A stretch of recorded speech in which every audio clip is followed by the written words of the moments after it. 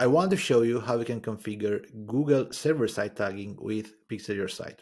In this video, I assume that you already have uh, a server tag container. The browser tag will be fired by Pixel Your Site, and this tag will send data to the container. From there, you can um, have any destinations that are supported by the server-side tagging. In this video, I will not enter into details about how to configure the container, how to set up everything. I will record separate videos later on, but for now, just the easy part.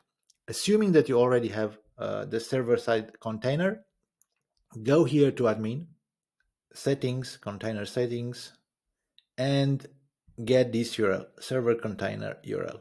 That's all you need from here. Again, I assume that you follow all the Google steps and you have this container already created. Go back to Pixel Your Site. Uh, make sure you update the plugin. This is, this is a recent, re, recent feature, so uh, if you don't see it, update the plugin. Uh, look for this option, make sure it's enabled, and add the container URL in this field. That's it. Save save. And uh, from this moment, the data will go to the con server container. It's important to remember that the property configured here will not get data. If the same property is configured inside the uh, server container, the data will still go, but through the server container. If you have a different different property configured in the server container, that property will start to get uh, data. And uh, you can confirm it's working by testing your website. Go to Workspace, click Preview, and open your website and start to browse. Basically, fire events, add to cart, visit products, and so on. And here on the tag assistant, you will see what data is received by the server container. So you can now confirm that the data is working and events are received by the container. Uh, you can also check inside if you have a, a, Google Analytics configured inside the container, you can check if the analytics property gets any data.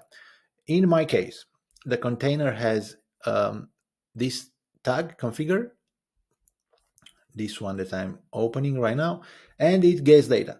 This data comes from the browser tag installed with Pixel Your Site that goes to the server tag, uh, server container, and from there to Google Analytics. So it's not sent directly from your website to Google Analytics. It goes to the um, server tag container.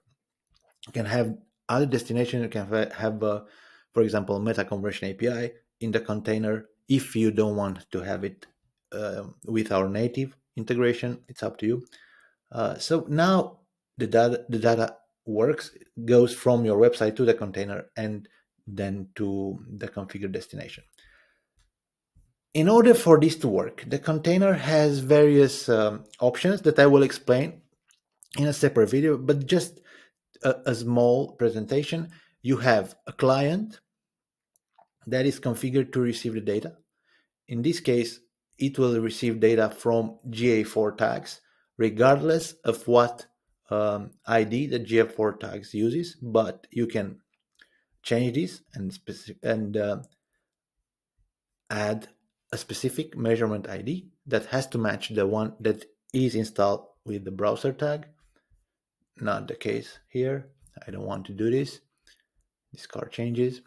Uh, we have tags in my case, Google Analytics, the property that uh, I just show you that gets, uh, and we have triggers, all um, GA4 events. That's the trigger. I configure this tag following Google documentation. You can find it relatively easily.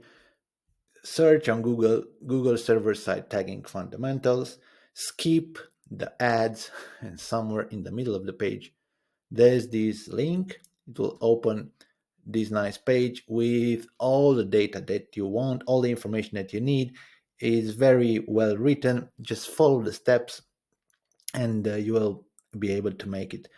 Important, what you don't need is a browser container triggering the events because we do this. Pixel does this. So it's the process is easier when you use Pixel Simply have the plugin installed, have your Google Analytics tag, add your server side tagging um, URL, server uh, side tagging URL here, and that's it. Events will work and the data will uh, be received by the server side, um, by the server container. I'm Christian Stoicescu from Pixel Site. This is our main plugin, Pixel Site Professional. Make sure you have it uh, up to date and uh, you will see this uh, new option here. It's still in beta. We plan to add some more features. We are still testing some stuff. Uh, we make we we want to make it fully compatible with, for example, Meta API integration with Google Tag Manager, and uh, and so on. Uh, thank you for watching, and uh, like this video, share this video, and subscribe to our YouTube channel.